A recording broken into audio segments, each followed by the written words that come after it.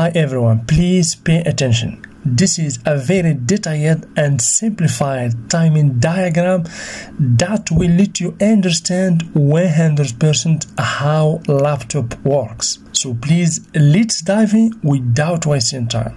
But please don't forget to share, like and subscribe. And for anyone who want to accelerate learning, you can join me in my Patreon page. All links in the description. So let's begin with the step number one as you can see here. Okay, so let's zoom a little bit. Okay. So here we have one over here, we have the power SRC. Okay, so this is basically the charger here. Here we have the battery and we have the plus V charger. Okay, the voltage coming from adapter and the battery. Of course, the voltage uh, could be coming from the charger or the adapter or the battery okay? In both cases we gonna get the plus power src about 19 volt 18 volt 15 volt 12 volt 5 volt for some laptops. Anyway we called it b plus or plus power src okay? Then the second step once we get this power we have here plus 5 volt always 2 this voltage basically is not like this one. The plus 5 volt always? No this is a primary voltage okay? This is a primary voltage. Sometimes it could be 3.3 volt but in this laptop the voltage is plus 5 volt so apply to the power switch. So this is number 2 number 3 we have power switch in okay? Once we press power switch here we will get the step number four 3.3 volt always on. This is enable signal. We have enable 2 for 3.3 volt. Okay? So once we press the power switch number three we will get or the power switch controller will send this enable signal to the 3 volt 5 volt controller okay this is enabled. Then this controller will generate 3.3 volt always number 5 okay? Then number 6 we have another enable signals always on coming from the embedded controller or the super IO goes directly to 3 volt 5 volt circuit as you can see as enabled and then it will generate plus 5 volt always. So the first voltage that is generated is 3.3 volt then plus 5 volt always. Okay number 6 then number 7 uh, the power control switch will send also the system power switch to embedded controller letting know that the switch is pressed we will get of course plus 5 volt always and plus 15 volt always plus 15 volt always of course just for some computers. But for some other computers we have just 3.3 volt and 5 volt always. So then number 10 as you can see here we have the, the SAS on. This is enable signal. Here we have do you see here we have G means gate? Okay. So just as on we are guys we are now in s5 state. We still in s5 state okay? So once this this is uh, the blue one here means enable signal of course coming from the embedded controller. So then these two voltages will be generated as you can see plus 5 volt SAS and 3.3 volt SAS this is basically the input plus 5 volts always and 3.3 volt always the same as does that will be applied to this uh, controller switch and the enable signals here the SAS on is the gate here and then those will be transferred to SAS over here. Then 13 we have RSM reset. This is basically the bridge from S5 to other states. So please pay attention. We have RSM reset 13 and we have also the SAS power EC okay 14 and we have the AC present okay this is conditions we have AC present 15 and we have SIO power button okay? SIO power button. After those signals we will pass from S5 to S4 do you see? We have 17 as you can see.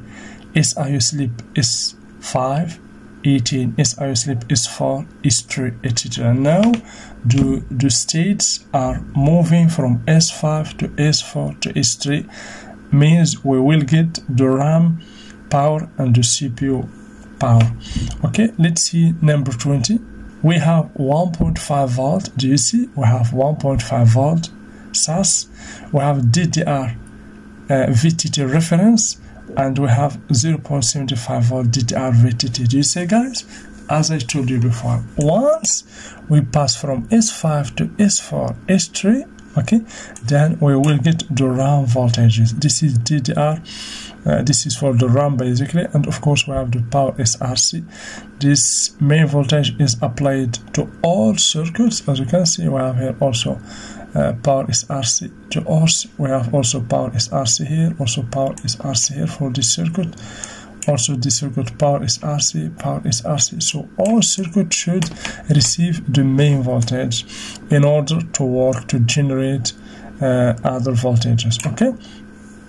So then we have the RAM voltages is generated over here. Let's see 25 so the embedded controller will send the RAM on you see the RAM on the RAM on basically means we will pass to S0 state where the CPU voltages are generated and all other secondary voltages. So 25 let's see 26 do you see 26 27 28 we have 5 volt RAM the origin is 5 volt always. Here we have always as you can see here we will get RAM plus 5 volt RAM plus 0.3 volt RAM 1.5 volt RAM. The same 5 volt but we have 5 volt always. And we have of course 5 volt SAS in S3 state S4 state. And we have here 5 volt RAM in S0 state. Then we have 29 okay after 28 we have 29 1.05 volt PCH as you can see. Uh, here also 1.05 volt PCH power good so this 1.05 volt this is for transferring data for communication between the PCH and the CPU without this voltage uh, nothing will occur. No transfer data will occur between the PCH and the CPU okay? So I will continue because we here we have about we have 47 states. We have about 50 uh, steps here. I will continue with uh, the next basically with the next part for this video in order to make things simple and easier. So this is the part one. Guys for this timing diagram very important timing diagram. If you didn't understand what i'm seeing here you can repeat the video two times or even three times in order to master uh, how the the timing how the signals are generated and what is the first one what is the next etc so basically you can ask me why what is the purpose of analyzing this timing diagram? Basically the purpose is by knowing the timing the sequence and the process of uh, generating signals uh, within a laptop and by understanding the process you can uh, easily figure out the problem. Means you cannot go directly and check the CPU circuit to find if there is a problem or not or the RAM circuit. You, you have a process you have order that you, you have to follow. If you want to troubleshoot uh, efficiently uh, any issue by uh, by uh, beginning from the power SRC here then go ahead and check the power button uh, etc okay? So thank you very much. I hope that you understand this part well. So don't forget to like the video share and subscribe. And as I told you for anyone who to accelerate learning you can join me in my Patreon page where you will find many exclusive content and where you can download mini schematics for laptop including this one. Thank you very much and see you with the with part 2 where i'm going to continue analyzing and giving you of course a summary of uh, this timing diagram. Thank you very much